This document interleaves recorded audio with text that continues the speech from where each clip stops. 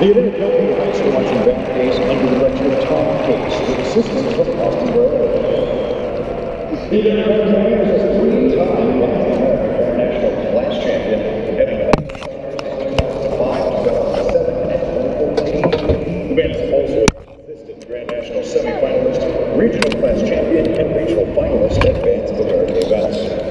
The County Band is a 21-time Kentucky State Marching Band champion in their class, having recently won the 2015 state championship. The band has also been a state finalist for 30 consecutive years.